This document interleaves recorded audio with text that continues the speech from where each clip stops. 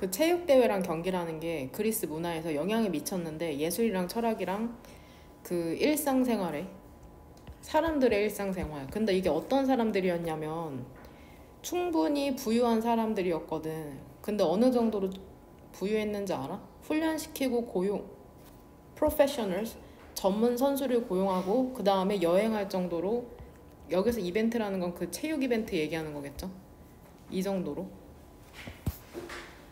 하지만 그 그리스의 대회와 게임이라는 것은 조금 달랐답니다. be different. 뭐와 달랐냐면 조직화된 그 competitive 스포츠 경쟁 스포츠와는 달랐 달랐대 오늘날에. 그러니까 과거의 그리스의 그 체육 대회랑 오늘날에 우리가 생각하는 체육 대회랑은 몰라 뭔가 조금 달랐나 보네. 3번 문장 첫 번째로는 뭐가 달랐냐면 일단 계속해서 대명사 they가 나오거든. 이 3번 문장에 they 나오고 그 다음에 계속 they. 전부 다. 2번 형광펜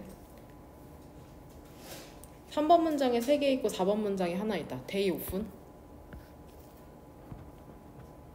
이 they가 전부 다 지칭하는 게 뭐겠냐 얘들아? 그것들은 기반에 있었다 종교에. They가 전부 다 지칭하는 거. 랑 게임이죠. contest랑 게임. 도대체 어떻게 다른지 이제 구체적으로 서술을 해주겠죠. 도대체 고대 그리스의 체육대회와 현대 오늘날의 체육대회 도대체 뭐가 다른 거냐 비슷할 것 같은데. 첫 번째로 그 그리스의 체육대회와 경기라는 것은 다, 단어 외웠지 얘들아. grounded 기반을 둔이죠. 기반을 둔. 그래서 단어 개별적으로도 꼭 꼼꼼하게 외워. 이미 작문해야 되긴 하는데 또 별개의 단어로 보는 건 다르거든 느낌이 좀.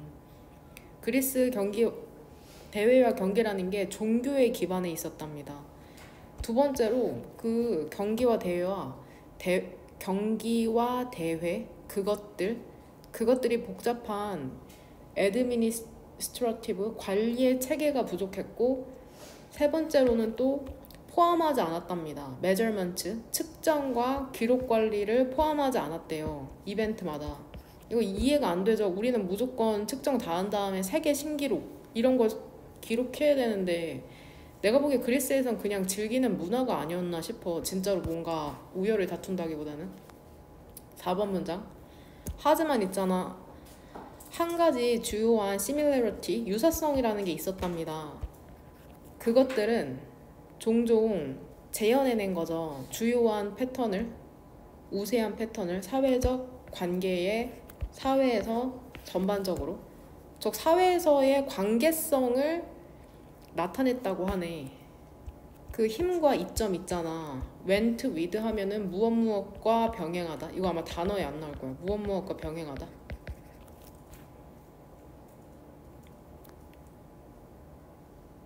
이렇게 이렇게 묶을까? 나 이렇게 묶을게. 우리 이제 구조 어느 정도 아니까. in ways 묶고 여기에서 대신 애들아 쓰임이 뭐냐? 보면은 뒤에 구조 한번 봐봐. 얘 관계 부사냐?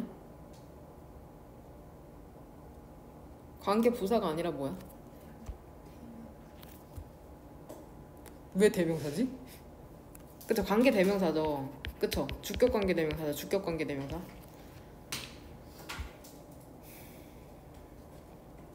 (5번) 문장 그러니까 힘과 이점이라는 게 근데 이 힘과 이점이라는 게 무엇과 함께하는 거냐면 병행하는 거냐면 being wealthy 그러니까 뒤에는 being에 걸리는 전부 다 형용사라고 생각하면 되겠네. 보이죠? 전부 다 형용사다 being이라는 동명사에 걸리는? with는 전치사니까 뒤에 being은 동명사죠. 그러니까 돈 많은 거죠. wealthy. 돈 많은 거. 그리스에서 중요하게 생각한 게 돈 많은 거. 매일. 남자여야 돼 또 젊어야 되고 그 다음에 able bodied. 신체가 건강해야 되는 거죠. 그리스 사회에서. 이것과 함께 가는 힘과 이점이라는 게 영향을 미친 거죠. 형성한 거죠. 그 게임과 컨테스트를. 근데 어떤 방식으로? 대부분의 사람들의 참가를 제한하는 방식으로. 그러니까 결국에는 소수의 사람들만이 즐기는 게 바로 그리스의 대회와 경기라는 거였네. 이거 어휘적으로 제한하는 거죠. 제한.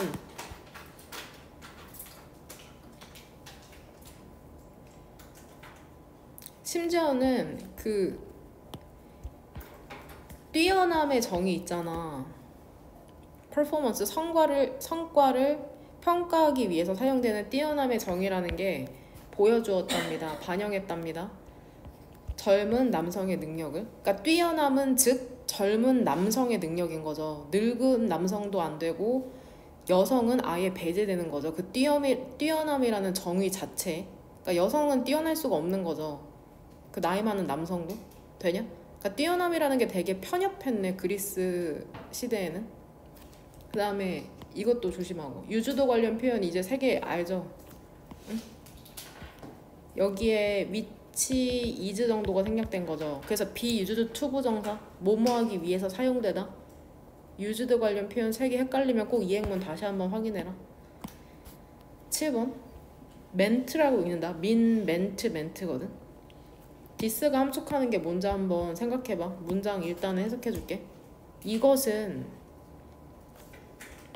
의미했답니다. 뭐를 의미하냐면 다른 사람들의 능력이라는 건 이미 그 자체가 서 스탠다드는 표준이잖아.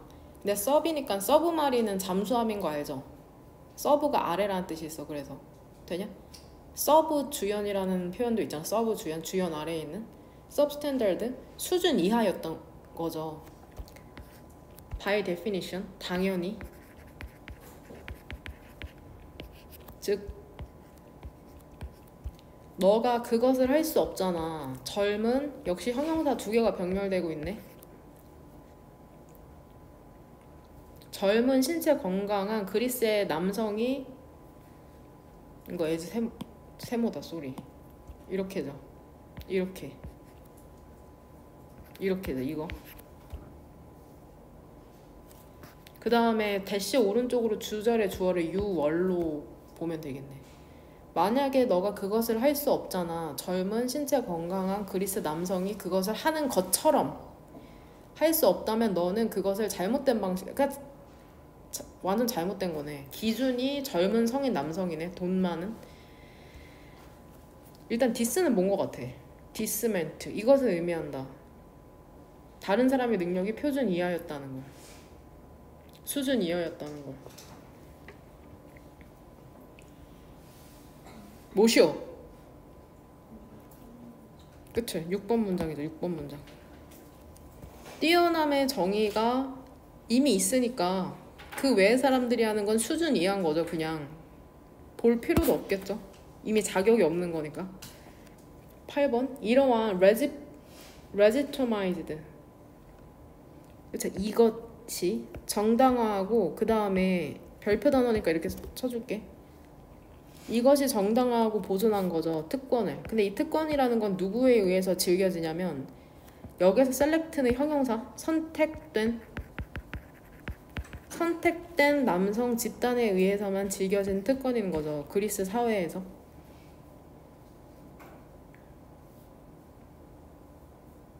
여기에서 디스는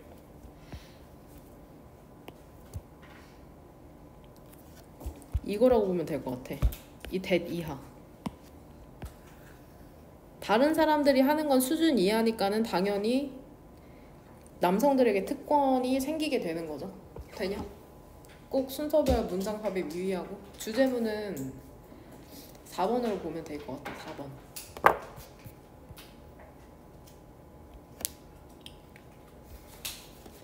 그거 공지 올린 거 봤지? 우리 그거 방학 수목금 토 일 해가지고 5일 동안 원래 학원 방학은 그날이 아니거든? 7월 말인데 학인여고가 수목금을 제주도를 다녀와 그래서 바로 정시반을 만약에 시작한다고 하면 걔네는 그 주 빠지고 또 학원 방학 때 또 빠지게 되잖아. 그러면 거의 절반 수업이 날라가거든. 그래서 어쩔 수 없이 그때 어, 학원 방학 갖고 어, 바로 정시반 가보도록 합시다. 왜 이렇게 오래 만나는 거 오랜만에 만나는 거 맞긴 하지. 왜 이렇게 오랜만에 만나는 거 아니야 우리? 이거 읽었어? 공유 자원의 비극이 지금 일어나고 있어요 젤리에. 어그 이 하리보 젤리를 내가 그 저번 우리 주말에 수업했잖아 토요일 일요일날 퇴근하고 젤리를 거의 새거 했단 말이야 근데 월요일 화요일날 내가 월요일날 쉬거든 화요일날 출근하니까는 그 어디에서나 볼 수 있는 곰돌이 젤리 알지 그거 세 개만 남겨놓고 젤리가 다 없어진 거야 어제 그래서 거기까지는 오케이 괜찮았어 그래서 어제 또 새 걸 뜯었어. 그 오늘 또 오니까 그 흔한 곰돌이 젤리만 남기고 그 보라 색깔 젤리가 다 없어진 거야. 두, 그 일이 두 번 발생해서 내가 이제 오늘 와서 조금 열이 받았지. 사실 젤리 도둑이 아니라 내가 보기엔 초등학생의 소- 소행인 것 같아. 어, 그래서 글을 써놨는데 지금 젤리로 사, 사회 실험하고 있어. 어, 너네 행동 패턴과 내가 나 알고 있었어 다른 애들도 와서 먹는 거. 근데 사실 괜찮아 많이만 안 먹고 뭐 두세 개 정도 오케이. 근데 아예 그냥 무슨 싹쓸이가 버리니까 공유 자원의 비극집은 알죠. 어 분별 없이 사용하면은 고갈될 수가 있거든요. 그 초등학생이 저 글을 읽을지도 모르 읽을지 모르겠지만 일단은